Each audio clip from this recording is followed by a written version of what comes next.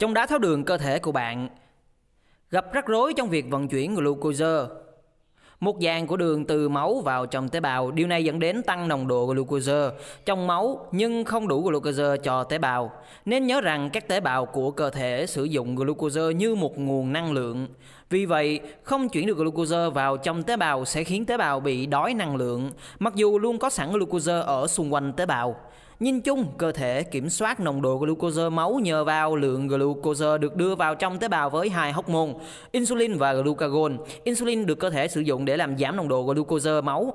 Còn glucagon được cơ thể sử dụng để làm gia tăng nồng độ glucose máu. Cả hai hormone này đều được tổng hợp bởi các đám tế bào của tụy, được gọi là tiểu đảo Langerhans.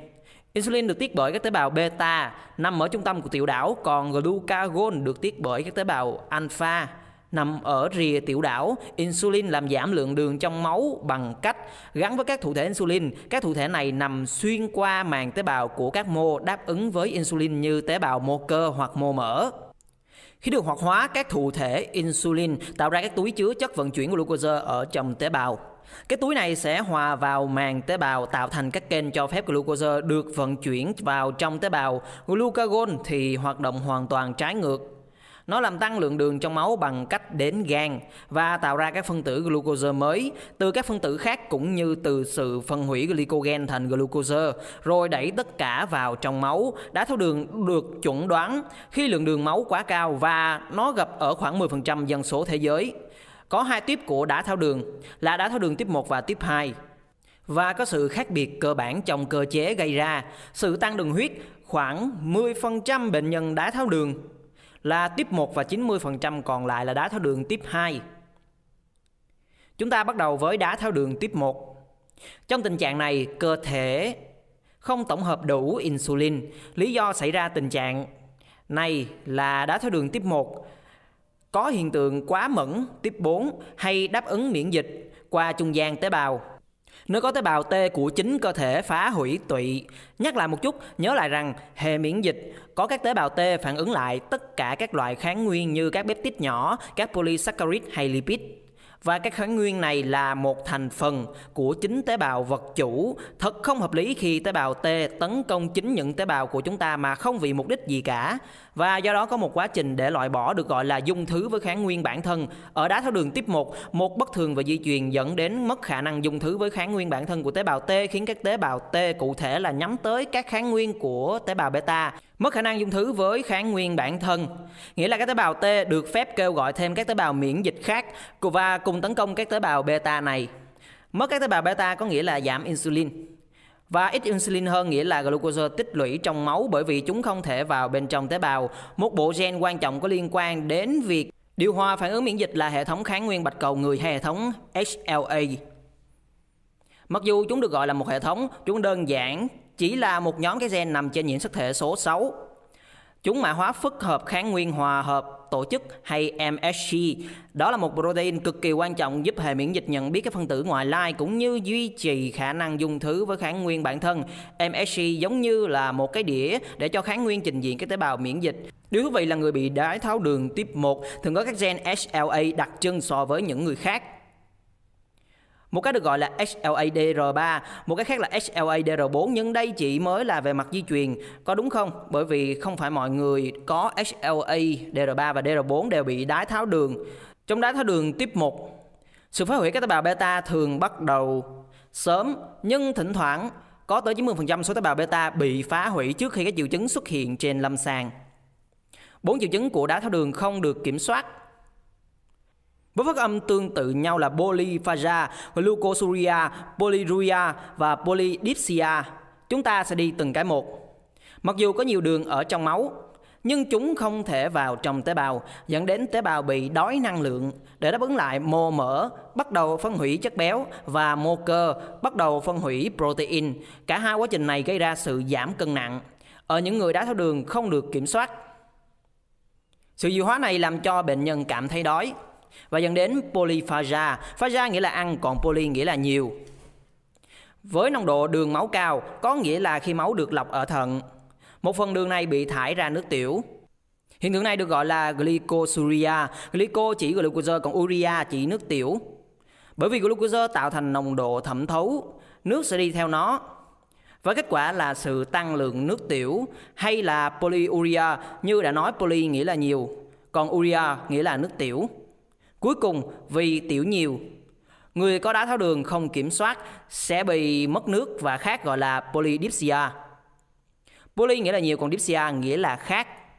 Mặc dù người bị đái tháo đường không thể tự sản xuất insulin, họ vẫn đáp ứng với insulin. Vì vậy, việc điều trị bằng liệu pháp insulin suốt đời để kiểm soát nồng độ đường huyết và cơ bản làm cho các tế bào sử dụng glucose, một biến chứng rất nặng của đái tháo đường tuyếp 1 được gọi là nhiễm toan ceton đái tháo đường hay DKA. Để hiểu về nó, chúng ta hãy quay trở lại quá trình phân hủy lipid. Ở đó chất béo bị phân hủy thành các axit béo tự do. Sau đó gan biến các axit béo thành các thể ceton như acetoacetic, beta hydroxy butyric acid. Acetoacetic là một ketoacid bởi vì nó có một nhóm ceton và một nhóm axit carboxylic. Trái lại, mặc dù beta hydroxy butyric acid cũng là một thể ceton, nó không phải là một ketoacid. Nhóm ceton của nó bị biến đổi thành một nhóm hydroxin.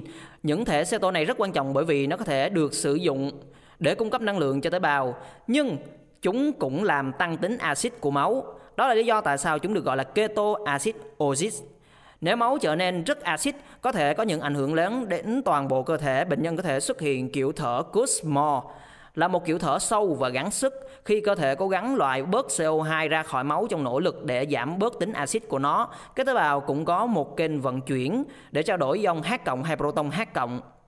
Với kali, khi máu nhiễm axit nó được định sẵn. Proton được đưa vào trong tế bào. Trong khi kali được đưa ra dịch ngoại bào, một thứ khác đáng nhớ là ngoài việc giúp glucose vào trong tế bào insulin còn kích thích kênh natri cộng và K cộng ATPase giúp cho kali vào trong tế bào. Vì vậy, không có insulin, một lượng lớn kali sẽ nằm ở dịch ngoại bào. Cả hai cơ chế này dẫn đến tăng kali trong dịch ngoại bào làm cho nó nhanh chóng đi vào máu và dẫn đến tăng kali máu. Kali sau đó được bài tiết. Vì vậy theo thời gian mặc dù nồng độ kali máu vẫn cao, tổng thể các khoang chứa kali trong cơ thể bao gồm cả kali nội bào bắt đầu cạn kiệt, bệnh nhân cũng sẽ có tăng khoảng trống anion, phản ánh một sự khác biệt lớn giữa các ion âm và các ion dương mà không thể định lượng được trong huyết thanh. Chủ yếu là do sự tích tụ ketoacid toan ceton đá tháo đường thậm chí có thể xảy ra ở cả những người đã được chuẩn đoán đá tháo đường và hiện tại đang điều trị bằng các loại phát đồ insulin. Trong một số tình trạng stress như tình trạng nhiễm trùng, có thể phóng thích epinephrine gây kích thích tiết glucagon. Quá nhiều glucagon có thể làm phá vỡ sự cân bằng nghiêm ngặt giữa glucagon và insulin, càng làm cho đường huyết tăng cao và có thể dẫn đến một loạt các sự kiện mà chúng ta vừa mô tả tăng nồng độ glucose máu, mất glucose qua nước tiểu, mất nước, song song với nó là nhu cầu về năng lượng thay thế. Sự tạo nên các thể ceton và nhiễm toan ceton. Thú vị là cả hai thể ceton phân hủy thành aceton và thoát ra dưới dạng khí bằng các nhịp thở ra của phổi, làm cho hơi thở có mùi hoa quả chín. Nhìn chung đó là điều ngọt ngào duy nhất cho căn bệnh này. Nó cũng là nguyên nhân của buồn nôn, nôn và nếu nghiêm trọng hơn là thay đổi trạng thái tinh thần và phù não cấp. Điều trị DKA bao gồm việc cung cấp nhiều dịch giúp cải thiện tình trạng mất nước Insulin giúp hạ nồng độ đường máu và điều chỉnh lại các chất điện giải như kali. Tất cả những việc làm đó giúp đảo ngược tình trạng nhiễm toan. Bây giờ chúng ta sẽ chuyển chủ đề và nói về đá tháo đường tiếp 2 là tình trạng mà cơ thể tổng hợp được insulin nhưng các mô không đáp ứng với chúng. Lý do chính xác tại sao các tế bào không đáp ứng vẫn chưa được hiểu một cách đầy đủ. Về cơ bản là cơ thể tổng hợp một lượng insulin bình thường, nhưng các tế bào sẽ không đáp ứng bằng việc di chuyển cái chất vận chuyển glucose, cái cần cho glucose đi vào tế bào, đến màng tế bào di chuyển vào trong tế bào. Do đó các tế bào này có sự đề kháng insulin. Một số yếu tố nguy cơ của tình trạng kháng insulin là béo phì, lười vận động và tăng huyết áp. Cơ chế chính xác vẫn đang được nghiên cứu. Ví dụ, sự dư thừa mô mỡ hay chất béo được cho là gây ra sự tăng tiết của các axit béo tự do. Cái được gọi là Adipokinase đó là các phân tử báo hiệu có thể gây ra tình trạng viêm. Điều này dường như có liên quan tới sự đề kháng insulin. Tuy nhiên, có nhiều người béo phì không bị đái tháo đường vì vậy các yếu tố di truyền cũng đóng một vai trò quan trọng. Chúng ta thấy điều này. Khi nhìn vào các nghiên cứu sinh đôi, khi có một cặp sinh đôi bị đái tháo đường tiếp 2 gia tăng nguy cơ tiến triển thành đái tháo đường tiếp 2, hoàn toàn độc lập với các yếu tố nguy cơ về môi trường khác. Trong đái tháo đường tiếp 2, bởi vì các mô không đáp ứng với lượng insulin bình thường, có thể sẽ sản xuất ra nhiều insulin hơn để đạt được hiệu quả tương tự và đưa được ra khỏi máu. Có thể làm điều này bằng cách tăng sản các tế bào beta là sự tăng về số lượng tế bào beta và sự phì đại tế bào beta. Ở đó chúng thực sự phát triển về kích thước. Tất cả những nỗ lực này là để tổng hợp ra nhiều insulin hơn. Điều này chỉ xảy ra trong một thời gian ngắn và bằng cách giữ cho nồng độ insulin cao hơn bình thường. Nồng độ glucose được giữ ở mức bình thường gọi là nomoglycemia Cùng với insulin, tế bào beta cũng tiết ra một islet amyloid polypeptide hay là amylin. Vì vậy, trong khi tế bào của beta tiết ra quá mức insulin, chúng cũng tiết ra nhiều amylin. Lâu dài amylin tích tụ lại trong các tiểu đảo, sự bù trừ này không bền vững. Và theo thời gian những tế bào beta đã hoạt động tối đa sẽ bị kiệt quệ và chúng trở nên rối loạn chức năng và bị teo đét. Chúng trở nên nhỏ hơn cũng như giảm sản và chết đi. Khi tế bào beta mất đi, và nồng độ insulin giảm xuống, nồng độ glucose trong máu bắt đầu tăng lên. Và người bệnh bị tăng đường máu dẫn đến các dấu hiệu lâm sàng tương tự mà chúng ta đã đề cập trước đó như là ăn nhiều, glucose niệu, tiểu nhiều và khát nước nhiều. Nhưng không giống với đái tháo đường tiếp 1. Nhìn chung vẫn có một ít insulin trong tuần hoàn. Trong đái tháo đường tiếp 2 từ tế bào beta, đang cố gắng bù đắp cho tình trạng kháng insulin. Điều này có nghĩa là cân bằng insulin glucagon sẽ làm cho nhiễm toan cetone do đái tháo đường không xảy ra. Có thể nói một biến chứng gọi là tăng nồng độ thẩm thấu do tăng đường huyết thì phổ biến hơn trong đái tháo đường tiếp 2 so với đái tháo đường tiếp 1 và nó làm tăng nồng độ thẩm thấu huyết tương do mất nước nặng và cô đặc máu. Để hiểu về nó, nhớ lại rằng glucose là một phần tử phân cực và không thể khuếch tán thụ động qua màng tế bào. Nghĩa là nó hoạt động như một chất tan. Vì vậy, khi nồng độ glucose rất cao trong máu, nghĩa là nồng độ thẩm thấu tăng cao, nước bắt đầu rời khỏi tế bào để đi vào trong các mạch máu để lại các tế bào tương đối khô và teo tóp chứ không được đầy đặn và nhiều nước. Các mà máu tràn đầy nước dẫn đến tăng đi tiểu và toàn bộ cơ thể bị mất nước. Và đó là một trạng thái rất nghiêm trọng bởi vì tế bào mất nước đặc biệt là tế bào não có thể gây ra một số triệu chứng bao gồm thay đổi trạng thái tinh thần hay HHS trong thỉnh thoảng bạn có thể thấy một ít ceton trong máu và nhiễm toan nhưng không đến mức bạn thấy nó như trong DKA. Và trong DKA bạn có thể thấy tăng nồng độ thẩm thấu, vì vậy có một số trùng lập giữa hai hội chứng này. Bên cạnh tiếp 1 và tiếp 2 cũng có một số phần nhóm khác của đái tháo đường như đái tháo đường thai kỳ xảy ra ở phụ nữ có thai. Có tăng đường huyết đặc biệt là trong tam cá nguyệt thứ ba. Mặc dù chưa rõ ràng nguyên nhân được cho là các hormone thai kỳ có ảnh hưởng đến hoạt động của insulin trên các receptor insulin. Cũng có thể đôi khi Người ta bị tiểu đường do sử dụng thuốc, do các thuốc có tác dụng phụ là có xu hướng làm tăng nồng độ glucose máu. Cơ chế của cả hai hiện tượng này được cho là có liên quan đến tình trạng kháng insulin giống đái tháo đường tiếp 2 chứ không phải là một quá trình hủy hoại do tự miễn. Giống đái tháo đường tiếp 1 Việc chuẩn đoán đái tháo đường tiếp 1 hay tiếp 2 được thực hiện dựa vào định mức glucose có trong máu và có những tiêu chuẩn cụ thể mà WHO sử dụng để chuẩn đoán y tế thế giới sử dụng. Một kiểm tra đường huyết lúc đói được thực hiện rất phổ biến. Khi người bệnh không ăn hoặc uống, trừ uống nước trong 8 giờ và máu của họ đã được kiểm tra nồng độ đường huyết Mức 110mg trên decilit đến 125mg trên decilit biểu thị cho tiền đái tháo đường và lớn hơn hoặc bằng 126mg trên decilit biểu thị cho đái tháo đường. Một kiểm tra đường huyết không phải lúc đói hay kiểm tra đường huyết bất kỳ có thể được thực hiện bất cứ lúc nào. Kết quả lớn hơn hoặc bằng 200mg trên decilit là chỉ dấu quan trọng cho đái tháo đường. Một kiểm tra khác được gọi là test dung nạp glucose đường uống. Người bệnh được cho uống glucose và sau đó lấy mẫu máu vào những khoảng thời gian nhất định để xem mức độ glucose được thải loại khỏi máu như thế nào. Thời điểm quan trọng nhất là 2 giờ sau khi uống. Nồng độ từ 140mg trên decilít đến 199mg trên decilít biểu thị cho tiền đái tháo đường và trên 200mg trên decilít biểu thị cho đái tháo đường. Một điều khác cần biết là khi nồng độ đường máu tăng cao, Glucose cũng có thể gắn vào các protein đang trôi nổi trong máu hoặc trong tế bào. Điều đó dẫn chúng ta đến một loại xét nghiệm khác có thể được thực hiện là xét nghiệm HbA1c. Nó xác định tỷ lệ hemoglobin trong các tế bào hồng cầu được gắn với glucose hay còn gọi là hemoglobin bị glycosin hóa. Nồng độ HbA1c từ 5.7 đến 6.4%, biểu thị cho tiền đã tháo đường và lớn hơn bằng 6,5%. Biểu thị cho đá tháo đường, tỷ lệ hemoglobin bị glycosin không thay đổi hàng ngày. Vì vậy, nó cho biết mức độ đường trong máu có cao trong vòng 2 đến 3 tháng qua hay không.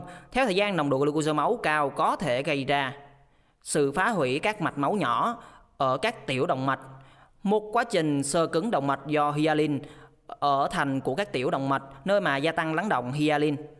Đây là sự lắng động của các protein và nó làm cho thành động mạch trở nên cứng và kém đàn hồi. Ở mao mạch, màng đáy có thể dày lên và làm cho nó khó trao đổi oxy giữa mao mạch và các mô gây ra tình trạng thiếu oxy.